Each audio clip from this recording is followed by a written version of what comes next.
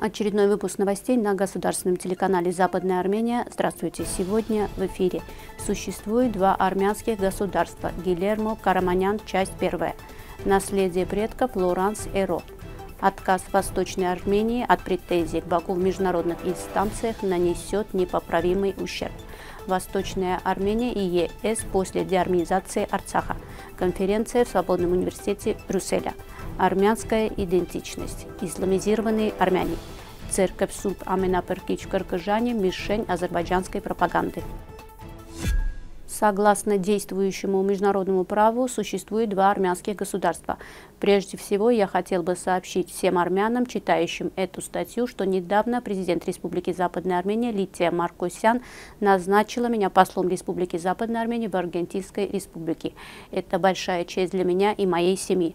Назначение является историческим, так как я первый посол нашего любимого государства, которое было создано благодаря усилиям, труду и интеллекту наших армянских старейшин и героев героев. Я четко понимаю, что позиции не должны быть выставлены на показ перед нашими соотечественниками, а должны быть подтверждены и уважаемы перед всем международным сообществом после публичных заявлений, сделанных недавно в Ереване и опубликованных в мировой прессе, которые пытаются отрицать территориальную принадлежность Армении за пределами 29 800 квадратных километров Республики Армении, я считаю необходимым обеспечить ведение и концептуальную ясность, чтобы точно понять историческую, правовую и территориальную реальность армянского народа. Мы должны знать, что в этих публичных заявлениях объективно верно, а что объективно ложно. Для лучшего понимания я начну с конца, чтобы, зная, что такое реальность, вы могли понять, как мы к ней пришли. В качестве посла Республики Западной Армении я подтверждаю – Նախիջիվան, Արցախ, Ջավախ, Կարս, Արդագան, Մանազգերտ, Վան, Երզնկա, Երզրում, Диарбекир, Трапезунд, Битлис, Сивас, Харпут, Муш и Сосун являются армянскими провинциями, что признано международным публичным правом.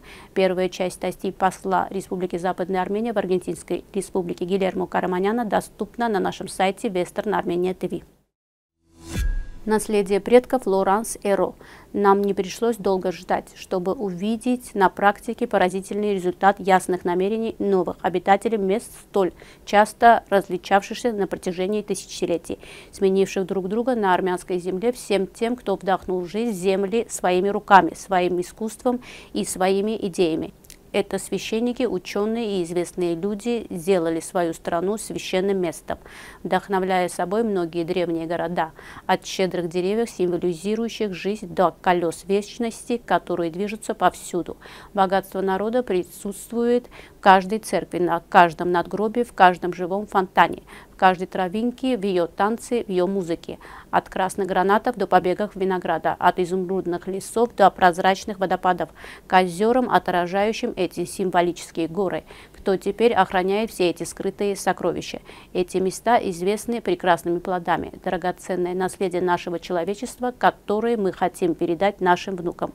Статуи почитаемых героев жестоко разрушаются, разбитые и разрушены здания, кресты сорваны с памятников.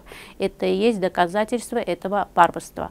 В одиночестве в оскверненных местах души усопших стерегут любимую землю, от ущелья до вершин по крутым тропам. Их дыхание ласкает кипарисы. С нетерпением мы ждем более светлых времен.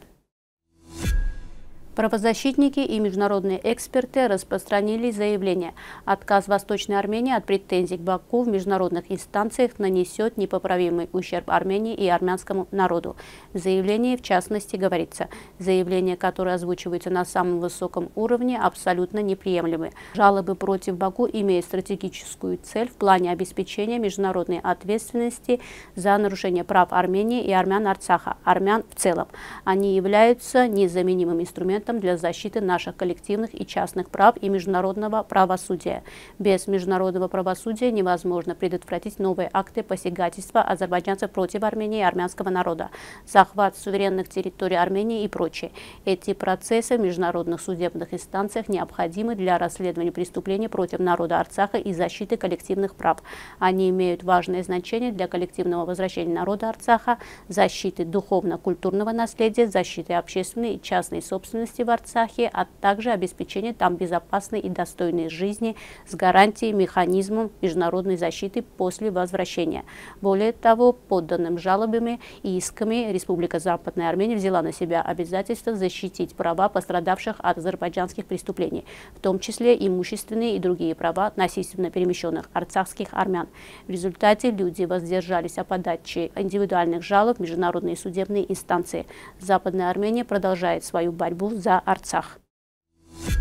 В Свободном университете Брюсселя состоялся форум Армении и ЕС после депопуляции Арцаха, организованный усилиями Союза Найрян и сообществом ООН в Свободном университете Брюсселя. На конференции выступил Тиграм Балаян, чрезвычайный и полномочный посол Восточной Армении в Бельгии, постоянный представитель при ЕС.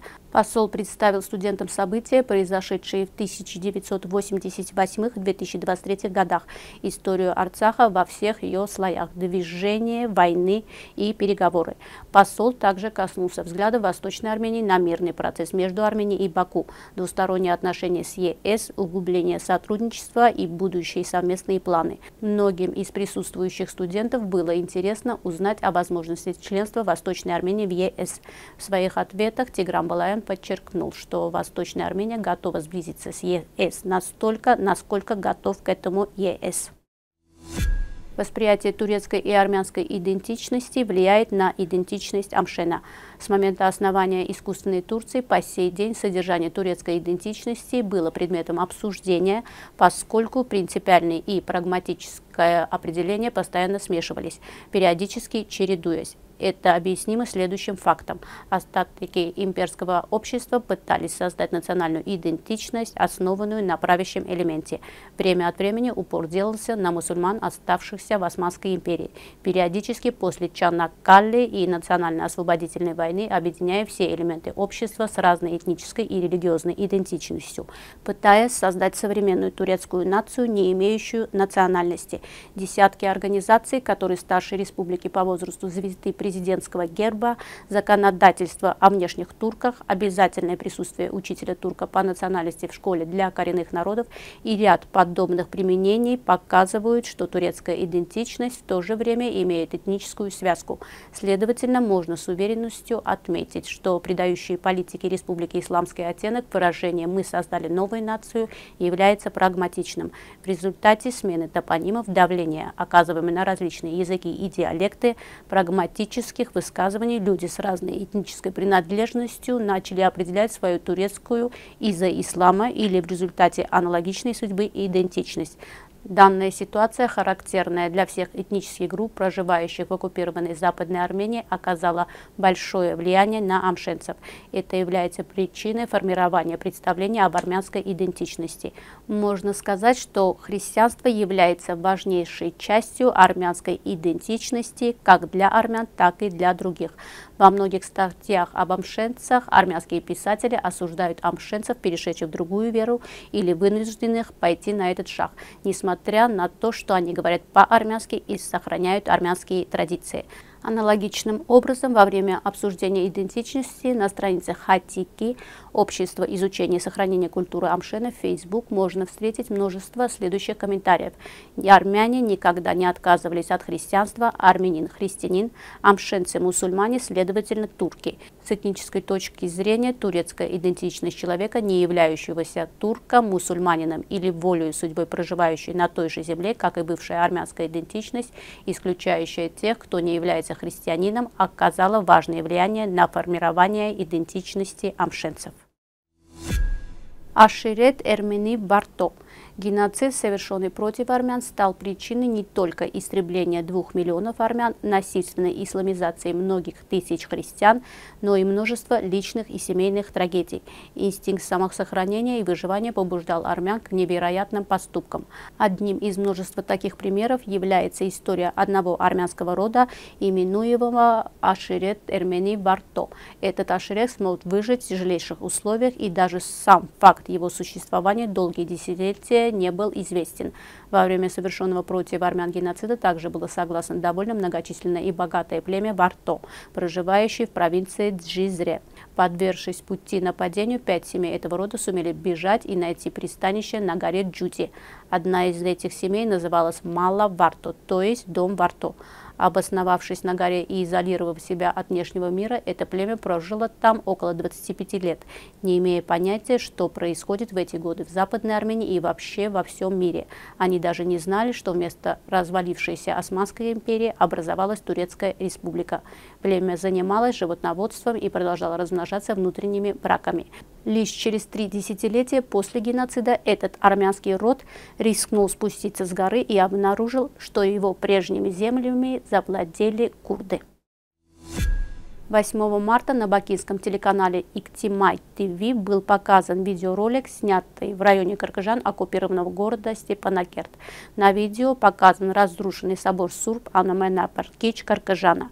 Видео озаглавлено как «Разрушенные албанские памятники в Ханкинди». Видео носит явно пропагандистский характер, где призвано служить основному тезису бакинской пропагандистской машине. Армяне армянизировали местные албанские церкви. Данный тезис не нов, однако по названию понятен еще один опасный тезис. Армяне якобы разрушили албанские памятники. Это видео также начали распространять в азербайджанских социальных сетях с заголовком «Разрушенные, уничтоженные албанские памятники в Ханкенди». На видео нет никакой информации и обоснования, когда был снесен памятник. Руины, показанные на видео, расположены в районе Каркажан на возвышенности оккупированного города Степанакерт. Согласно документам охранной зоны памятника, разрушенная церковь была названа церковью Сурб Аменапаркич. В административных границах современного Степанакерта еще в XIX веке находились Варарак, Каркажан, Пахлул, Неркиншен, Согомонишен и другие армянские деревни, свидетельства о которых сохранились в источниках XIX века. Вокруг памятника есть несколько фрагментов хачкаров, указывающих, что до нынешней церкви здесь была другая, более ранняя церковь или святилище, на месте которой, возможно, в XIX веке была построена нынешняя церковь. Судя по фрагментам хачкаров, они относятся к XII-XIII векам. На территории также есть надгробия с армянскими надписями. Согласно надписи, одно из надгробий принадлежит некой Рипсиме Юагимян, скончавшейся в 1870 году. Кладбище Кладбище и фрагменты хачкаров, найденные на территории церкви, указывают на раннее существование на этом месте церкви или святилища. В советские годы в селе Каргажан и вокруг церкви проживало много азербайджанцев. Последние превратили церковь в сарай и разрушили ее.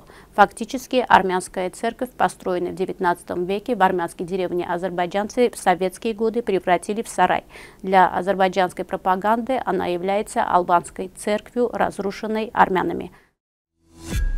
И в завершении новостей послушаем песню в исполнении группы «Лада Нива» «Пингел».